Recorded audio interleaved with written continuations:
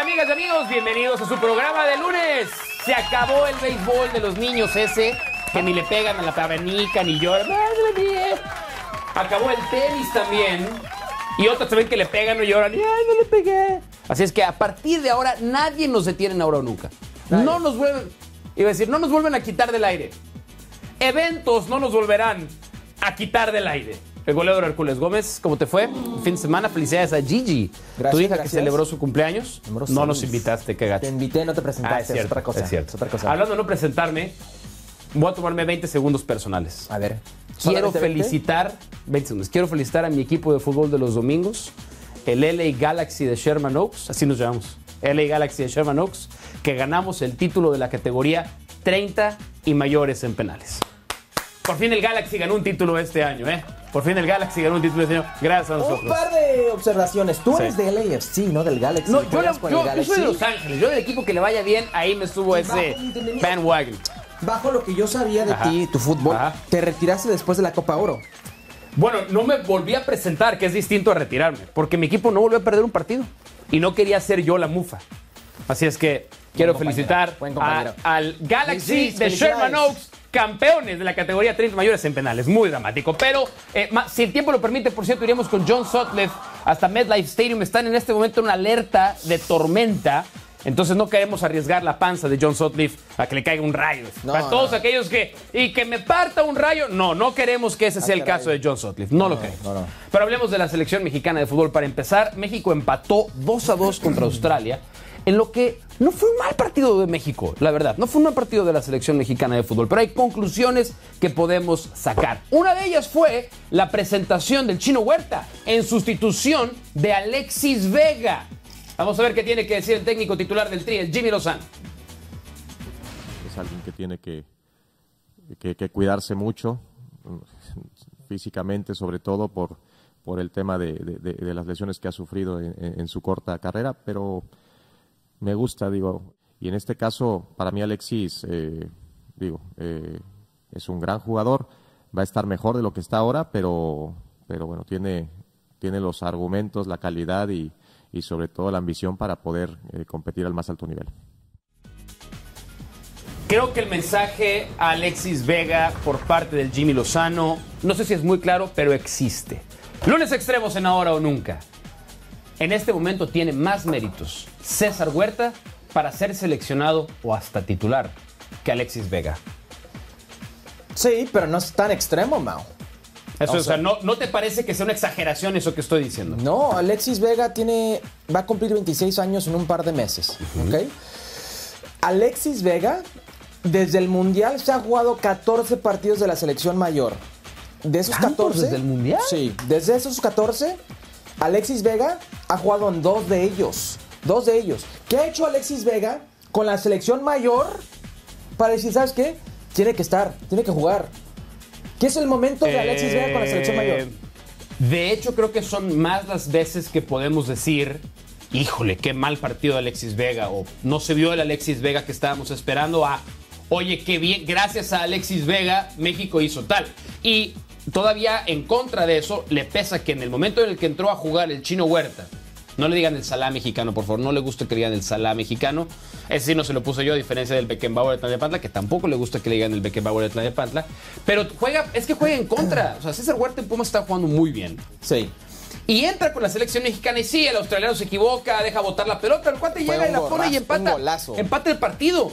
Pero yo voy a seguir defendiendo a Alexis Vega. Ah, caray, ¿por? Porque yo creo que en la selección tienen que jugar los mejores. Entonces, Alexis Vega es mejor jugador que César Huerta.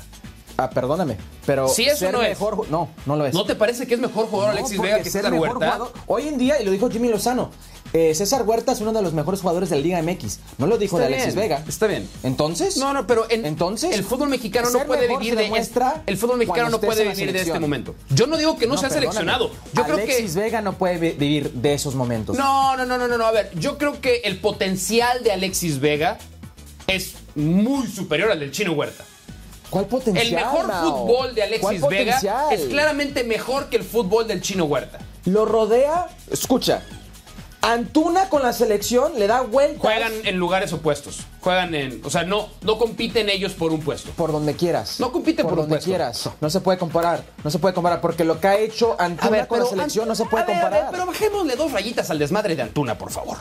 Antuna es un jugador que toma la pelotita y hace un quiere para un lado, hace el quiere para el otro, y hace el quiere para el otro, y hace el quiere para el otro, y hace el quiere para el otro, y hace el quiere para el otro, y se equivoca en el centro. Eso es Uriel Antuna. El único eso es Uriel Antuna. da asistencias, que eso es, penales. Eso es Uriel Antuna. Uriel Ahora Antuna. de Alexis. Uriel Alexis Vega en este momento pasa por un mal momento. Eso es real.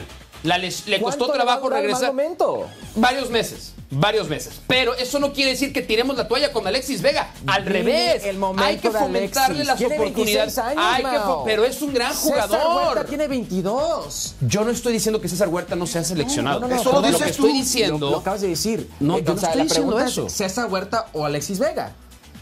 Yo por por eso contesté que Alexis Vega. Eso no quiere decir ¿sí que César. diciendo? No, porque lo que estoy diciendo es que César Huerta en este rol de cambio, 10, 15 minutos, 30, eh, 25 minutos que jugó el partido pasado, te puede cambiar. César Huerta no puede ser titular de la selección mexicana de fútbol. ¿Y Va- Alexis Vega sí? Partamos. Creo que, tiene- creo que No, ayuda no, más un jugador mal, como Alexis Vega mal. No que puede César cancha, Huerta. No llega a la cancha. Tu tocayo, Mauricio Imay, Sí. vino en este programa, en otras Sí, plataformas, este reportero canal. May, eh, uno de los mejores. Número uno. Ok. El mejor. Número uno. Híjole, David. No, no, es, es distinto. Dije el mejor reportero. Tienes razón. Otros comentaristas.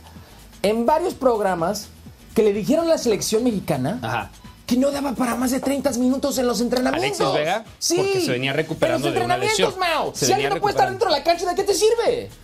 Porque se está recuperando, es lo que te estoy explicando. ¿Cuántos años vamos a esperar por Alexis Vega? Yo creo que no hay tanto talento en el fútbol mexicano. Entonces, a, a un jugador talentoso, Pues bueno como Alexis Vega, como hay que esperarlo. Huerta. Por eso, pero en ese rol, en el rol de 10, 15 minutos, en el rol de las cosas no están funcionando, entra de cambio para con tu dinámica, velocidad, verticalidad.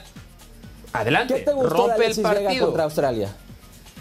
Eh, no puedo apuntar a algo en El específico. pase que le da Orbelín, que Orbelín le da el caño al jugador de. Australia y un tiro de Gallardo, eso yo, es lo que hizo, ¿no? yo creo que Alexis Vega necesita regularidad para poder encontrar su mejor momento. El problema es que las lesiones no... Y él también. O sea, a ver, mi defensa es en función del talento para jugar que tiene Alexis Vega. Su momento es indefendible. Estoy de acuerdo. Él lo sabe.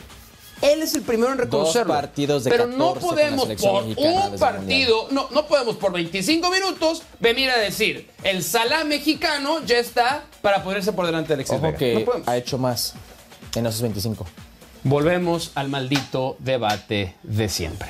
El 9 de la selección mexicana de fútbol. Santi Jiménez falló el penal que tuvo para en ese momento recortar, empatar en ese momento el partido Sí. contra Australia. Iba A uno. 1-0 ganando Australia en ese momento. Falla el penal, entra y ¿sabes qué? Fue un momento de mano de, de Jimmy Lozano porque a los tres minutos el cambio ya estaba planeado, no, no lo sacó por el penal. Claro. Pero hay veces que los técnicos para proteger anímicamente a los jugadores, cuando pasa algo así, a lo mejor otro técnico no hubiera hecho el cambio, el, el cambio luego, luego. Viene el Jimmy Lozano y dice, el cambio estaba pensado, no me importa si falló el penal, sale Santi Jiménez, entra Raúl Jiménez y patea un penal a lo Raúl Jiménez. El lunes extremos. ¿Le pesa la titularidad a Santiago Jiménez en la selección mexicana de fútbol? No. Le pesa a la selección mexicana jugar con un 9. Una gran diferencia. Falla, falla un penal, le pegó el poste. Otro penal. No pasa nada. Puede ser un Estuvo jugador. muy errático en el primer tiempo, Ojo, tratando de asociarse. ojo. La pelota le rebotaba mucho. Ojo. Es un jugador que tal vez los penales no son para él. No dice que no es buen futbolista. Claro. No, no- no dice que no es buen futbolista. En la cancha estaban Romo y Orbelín Pineda. Y Héctor, y Héctor este, Herrera. Y Héctor Herrera, que en teoría patean mejor penales de los que lo patea Santiago Jiménez. No pasa nada. A lo que voy es, sea quien sea, llámese el 9, Henry Martín, Santi Jiménez, Raúl Jiménez, le cuesta generar oportunidades de gol a esta selección mexicana para su 9. Mira, 28 toques del balón para Santi Jiménez. Para el 9 titular, 28 toques. Memo Ochoa tenía 54, hermano. Ahora, no son- 50 y tantos, 54 toques para Memo No Ochoa. son, no son pocos, ¿eh? Para un 9, 28 No, toques son no muy son pocos. pocos, no, no. Mao, muy Erling, pocos. Erling Haaland trae un promedio a veces de a Ah, 20 no, toques por partido. No, Mao, Erling Haaland en, en los esos 28 toques Ah, probablemente 15 van a hace ser 20 dentro- goles, probablemente hace 20 Y goles. dentro del área van a ser los toques. Pero el, el, el 9 moderno hay veces que jugando aislado juega así. No debería ser el caso de Santi. Pero a mí sí me preocupó un partido. Pues, o sea, tampoco como con el chino Huerta. Tampoco voy a hacer esto un escándalo. Pero lo estás haciendo. Pero tú dijiste algo muy importante que tiene que ver con el sistema. ¿Por qué? Porque ya hemos hablado de que Julián Quiñones va a llegar a la selección. Y como mejor se ve a Julián Quiñones es cuando acompaña al 9. Sí. Y yo no sé, porque yo cuando veía el partido me imaginaba como estaba parado México y decía, si adelantan a Orbelín a jugar más cerca de Santi Jiménez, eso puede replicar lo que quisiéramos ver de Quiñones con Santi o con Raúl Jiménez. Te puedo- Pero no lo vimos tanto así, se puedo- echaba muy atrás ok, Orbelín. Entiendo lo de lo de Julián Quiñones y está bien. Creo que mucha gente está hablando de eso, que jugar con otro 9. Eh, Sigi Schmidt, técnico que tenía el Galaxy, que en paz Sí, en paz descanse, descanse. siempre decía, no me digas a quién poner, dime a quién, sacar. Yo estoy de acuerdo, yo estoy de acuerdo. Eh, lo dejamos para otro día, ¿te parece bien? Lo dejamos para otro día. México juega contra Uzbekistán el martes y hay que ver cuántas modificaciones hace el Jimmy Lozano y cuántos pueden jugar ahí. Que no va a jugar es alguien quien yo pensé que íbamos a ver jugar mucho en selección mexicana y probablemente inflé. Y probablemente me esté arrepintiendo de las cosas que he dicho que él. No lo sé, lo vamos a averiguar en este momento. Marcelo Flores llegó a Tigres. Dicen que llegó fracturado Marcelo Flores. No, sí yo, fracturado. Llegó fracturado. Sí, sí. Y Tigres aún así dijo, no hay bronca, le pago lo, que- lo que le tenga que pagar al Arsenal y acá que se Bien rehabilite. de Tigres. Es plan al futuro, ¿no? Bien por, sí, bien por Tigres, sí. Yo no tengo nada que reclamarle. Toda esta gente de nada, Tigres y Rayados está hecho a perder. Mm, o sea, nadie les pone una pistola a los jugadores para llegar a esos lugares. No, y- Ahora, Bueno, dale, adelante. vamos, vamos, vamos con el tema. Sí, vamos sí. con el tema. Marcelo Flores nunca volverá a jugar en Europa. Es lunes extremo. Yo tengo un problema con la pregunta. Con clubes. Pues si fueras en selección, pues a lo mejor si un día. No, ¿A eso te refieres no, no, o qué?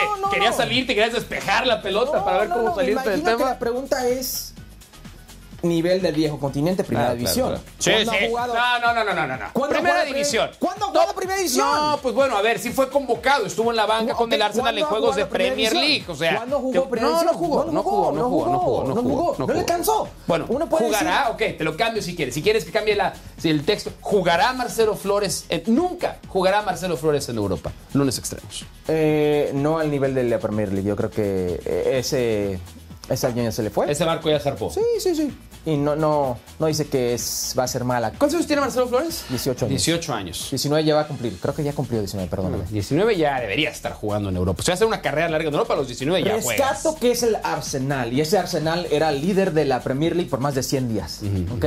Rescato eso y, y que es difícil llegar Carlos y Vela jugó en un mejor Arsenal todavía. No, perdóname, pero no fue mejor En un Arsenal. mejor Arsenal. No, Los no, no primeros fue- años de no, Vela no, con no, Arsene no, no, Wenger no, era no, un mejor no, Arsenal. no, que fue la este jugaba caída libre de, de ese Sí, Arsenal. bueno, no, pero yo digo, lo- No, no, cuando perdóname. debutó, No, cuando no. debutó Carlos. Vela, cuando debutó, Está- era un mejor Carlos Arsenal Vela, que Joel este. Campbell no jugaron el nivel de Arsenal que Marcelo Flores. Ese, este Arsenal era mucho más difícil para debutar y no debutó, no pasa nada, no pasa nada. Igual como Carlos Vela, te lo compro. Hizo una carrera buena afuera de Arsenal. Y puse la vara muy alta, porque Carlos Vela es el mejor jugador mexicano El de los últimos. no, el más ta- talentoso, talentoso, de los ahí. últimos 15 años. Estoy de acuerdo. ¿Tiene otro mejor? ¿De mejor? Sí. ¿Mejor? Mejor. Chicharito. O sea, no es mejor, tuvo mejor carrera. Tuvo mejor carrera. ¿Mejor? Pero no era mejor jugador Chicharito que Carlos Vela. Son dos cosas diferentes. No, no, no, espérate, espérate. Hay diferencia entre talentoso Sí. y ser mejor. Lo de Carlos Vela no fue mejor que Chicharito Hernández. Carlos Vela fue nominado una vez como uno de los tres mejores delanteros de la Liga Española, junto con Cristiano, junto con Messi y Antoine Griezmann. O fue Ronaldo y Antoine Griezmann. Eh, No, no, fue- fueron los tres. Los Este, tres. sí, sí, fue este. Bueno, ahí está, ahí está, Pero está, está. Javier Hernández jamás llegó a Pero eso. fue en la liga, o sea, está bien. En la, En liga, eh, te estoy diciendo que estuvo con Cristiano Ronaldo. lo que te voy a decir. En el mundo, Javier Hernández tuvo mejor promedio de gol que cualquier otro futbolista en el mundo. Bueno, está bien, esa ni siquera es la decisión de este momento. Ok, a Marcelo Flores. Sí. Marcelo Flores. Eh, A ese nivel no, pero a otro nivel, yo, a Fra- ver, Francia, España, lo que tú quieras, puede ser. yo estoy muy. Estoy muy triste con lo que pasó con Marcelo Flores. Ya no le voy a echar la culpa al Tata Martino. ¿Quién es el culpable? Ya no lo voy a hacer, ya no lo voy a hacer. Él y la gente que lo maneja. Porque más allá de que Gerardo Martino presionó a Marcelo Flores para jugar si quería al Mundial y por eso toman la precipitada decisión de ir al Oviedo, lo cual me pareció una idea horrorosa, malísima. La segunda división de España es jodida, hermanos. Es durísima, es muy brava, es muy, muy brava esa, esa segunda división. Pero al verse presionado por Gerardo Martino y jugar, van y toman la decisión de ir para allá. Al final se ha confirmado que fue un error. Fue un error. Tuvo que haberse quedado en Arsenal, no tuvo que haber precipitado su proceso, tuvo que haber entendido que lo que le convenía a él era seguir jugando en las inferiores y que si algún día se abría la ventanita de salir a la banca y encontrar algún minuto en alguna copa, hacerlo. Lo precipitaron. No voy a criticar al papá porque los papás hacen lo mejor que consideran para sus hijos. ¿Sabes lo que te voy a decir? ¿Qué? Eso es falso. ¿Qué? Aplaudiste la decisión de irse a la segunda división. No, la entendí. la entendí no, no, porque estaba siendo aplaudiste. presionado por Gerardo Martino. Me criticaste por decir que, fue- que era un error. Te critico por muchas cosas. y muchas eso, cosas. y eso. Pero mi conclusión a Híjole. todo esto es que creo que es un muy mal, un muy mal paso para Marcelo Flores haber venido al fútbol mexicano. Muy mal paso. Muy mal Eh, paso. Y mal yo creo paso que no, para- y perdón. creo que no va a regresar a Europa. Yo creo que no va a regresar Mal a jugar paso a para el fútbol mexicano, no. Ir a Tigres sí. Eh, menos va a jugar. Exacto. menos va a jugar. Eh, Estados Unidos jugó contra la selección nacional de Uzbekistán. A ver, ustedes ganó 3 a 0. Dicen, ah, muy bien. Hizo goles al 91 Dos y y 95. cinco. Exactamente. Y yo te leí preocupado por la actuación de los Estados Unidos. A ver, fue muy raro porque con México, México empata y mucha gente dijo, no, pero muy bien. O sea, las formas fueron las correctas más allá del resultado. Y Estados Unidos gana 3-0 con autoridad a una selección muy inferior como Uzbekistán. Y escuché muchas críticas de parte de los críticos agudos que existen de la selección nacional de los Estados Unidos, como el señor Hércules Gómez.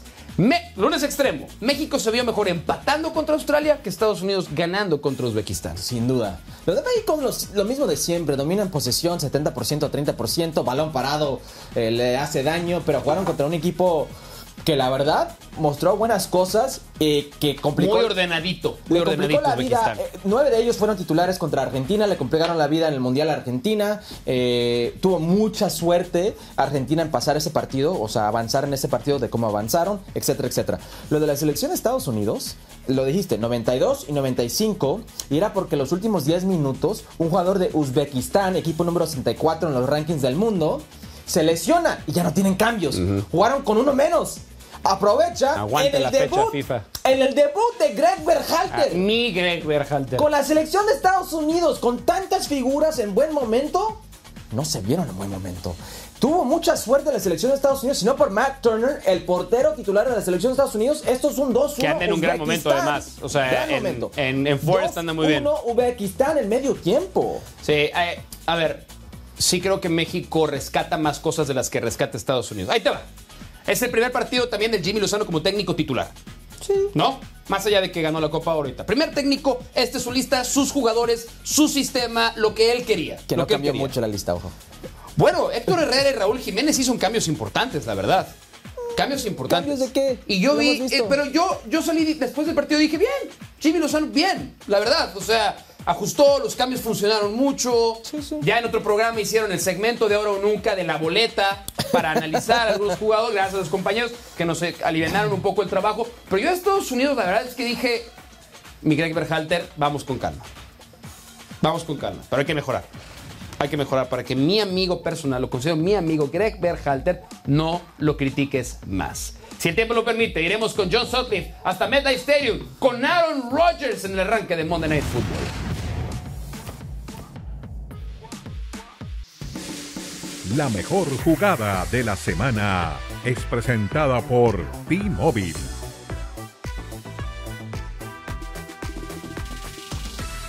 Los buenos amigos de T-Mobile traen la jugada de la semana Hércules, cortesía de Sal Frele. En la vida. ¡Oh, no! qué golpe se llevaron, por favor! Protocolo de conmociones para los jugadores cerveceros. ¡Wow! El, el central le pusieron un codazo. Mira el codazo. Toma.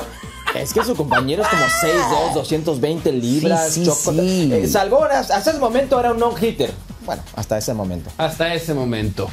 Más sorprendente, hablemos de NFL. La gente quiere conocer siempre nuestra opinión de NFL, Hércules. El debut de los Cowboys, vaya paliza a los Giants. O el debut de los 49ers. Vaya paliza a los Pittsburgh Steelers, ambos de visitantes. Bueno, yo creo que para esa respuesta, porque ambos, los Cowboys y los 49ers, eh, eran favoritos Sí. en sus conferencias, en su división, etcétera, etcétera. Mucha gente cree que esa va a ser la final de la conferencia nacional. Yo sí lo creo. ¿Tú sí lo crees? Sí, yo tengo, sabes que tengo los Niners eh, en el Super Bowl. Sí, los dos, los dos Eh, lo tenemos. Los dos los tenemos. Sí. Eh, depende de quién esperabas más. ¿Esperabas más de los Steelers? ¿Esperabas más de los Giants? Yo esperaba Steelers. mu- Exactamente. Sí, de los Steelers. Ahora, ¿sabes qué? A mí me pareció una actuación más redonda de los Niners. Porque a mí se me acusa de ser anti-Dak. No, Tú eres se me acusa de ser anti-Dak Prescott. No soy Prescott. exactas fueron que pero- nunca esperas nada de los Cowboys. También es cierto. Pero fue una gran exhibición. Pero también creo que los, los Giants dieron, dieron uno de los peores partidos que he visto en mi vida en todas las unidades. Les bloquearon un gol de campo y lo rezaron para touchdown. Un pick six. Eh, iban perdiendo por 26 puntos a la mitad del segundo cuarto. No, o sea, Daniel Jones más perdido de lo que hemos visto a cualquier otro jugador en ¿Dónde es mucho más tiempo. fácil- ¿Dónde es más difícil, perdón, en jugar? No, no, en Pittsburgh, en Pittsburgh. sin y duda. voy a decir esto, ¿eh? Sin duda. Hoy confío yo más en un quarterback como Brock Purdy que Dak Prescott. Vi a, vi a Brock Purdy hacer cosas más especiales. Bueno, es invicto, ¿eh? De las que le. ¡Claro! El tipo ha ganado sus seis partidos en los que ha arrancado Sí, como sí, titular. Tiene más armas. Monday Night Football. más armas. Jets, el debut de Aaron Rodgers con su nuevo equipo en casa recibiendo a los Bills. Duelo divisional, vamos con algunas apuestas. John Sutcliffe se está protegiendo de la lluvia, así es que por eso no nos va a poder acompañar. Es parte del protocolo que hay que seguir. Aaron Rodgers con más pases de touchdown que Josh Allen en este partido paga más 110 apuestas o pasas. No, no, no, no, yo, yo, yo paso.